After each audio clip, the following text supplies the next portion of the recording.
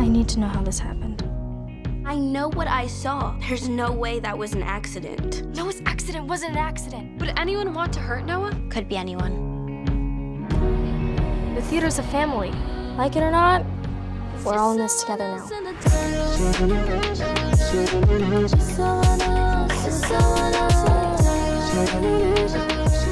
The vibe of the show, in my opinion, can be mysterious, but also a little bit comedic. Out of the show, it's like a comedy murder mystery. Except I'm not murdered. I just made a quick statement for my article on Noah's death. He's not dead. R.I.P. Noah. He's not dead.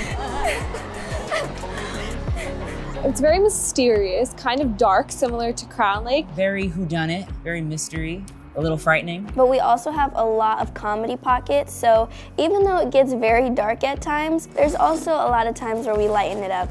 Ruh-roh. It's not like a regular mystery because it's really, really, really funny. But it's also a little spooky because you don't really know what's happening. The whole time you're just trying to figure out who it could be, what's going on. Definitely don't rule anybody out. Doors opening on their own, flickering lights, falling objects.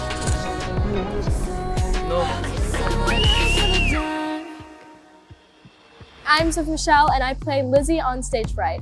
My character, I'm the stage manager, so I'm kind of controlling everything, and I'm super ambitious. Half the cast is a wreck. Tuesday won't come out of her dressing room. Kai thinks the theater is haunted, and Wayne won't even speak to me.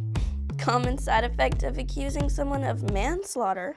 My character, Roxie, she's definitely not a theater kid. She is basically like the mean girl, the popular catty type of girl. She just loves the attention. What is wrong with you? Oh, I don't know. Maybe having to bear the weight of our school's emotional well-being? We're trespassing and you're documenting it live. Mikey is a baseball player, and he's basically like like a dog. I think of him like a golden retriever. He attaches to everybody, and he's always trying to do good. He's doing his best, and he's he's trying. If I were a library, where would I be?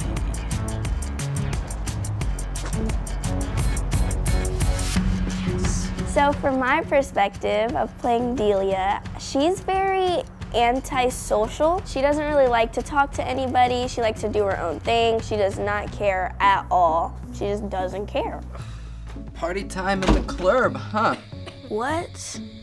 I was trying to fix the broken fog machine. And I'm straight. All of our characters are so much fun. I cannot wait for you guys to see Stage Fright. There's so much fun stuff going on with this show.